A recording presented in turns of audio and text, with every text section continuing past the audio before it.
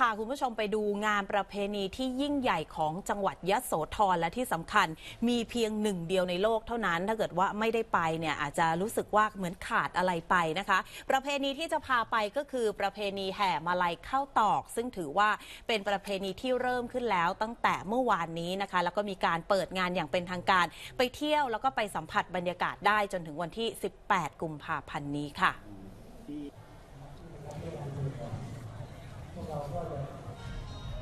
เนี่ยแหละค่ะเป็นกิจกรรมนะคะในประเพณีแห่มาลัยเข้าตอกที่คนในพื้นที่จังหวัดยะโสธรเขาร่วมมือร่วมใจ จัดพื้นที่อย่างสวยงามและยิ่งใหญ่นะคะเป็นงานประจำปี 2562 กิจกรรมพิธีเปิดงานอย่างเป็นทางการมีขึ้นเมื่อคืนที่ผ่านมา มีนายวีระโรธพจนารัตน์รัฐมนตรีว่าการกระทรวงวัฒนธรรมเป็นประธานในพิธี กิจกรรมจัดขึ้นบริเวณที่หน้าว่าการอำเภอมหาชนะชัย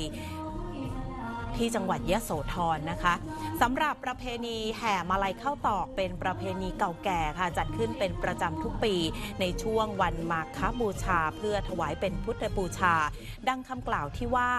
ร้อยมาลัยเข้าตอก แทนดอกมณฑารบนบพระสัมมาสัมพุทธเจ้า เนื่องจากในพื้นที่เขามีความเชื่อนะคะว่า ในอดีตการในช่วงของพุทธกาลนั้น เมื่อพุทธศาสนิกชนจะสักการะสมเด็จพระสัมมาสัมพุทธเจ้า เขาจะนำดอกมณฑารบเนี่ยแหละค่ะนำไปถวายแด่พระสัมมาสัมพุทธเจ้า แต่ว่าในปัจจุบันเขาก็มองว่าข้าวตอกหรือว่ามาลัยข้าวตอกนี่แหละ มีลักษณะที่คล้ายดอกมณฑารบซึ่งเจ้าข้าวตอกหรือว่า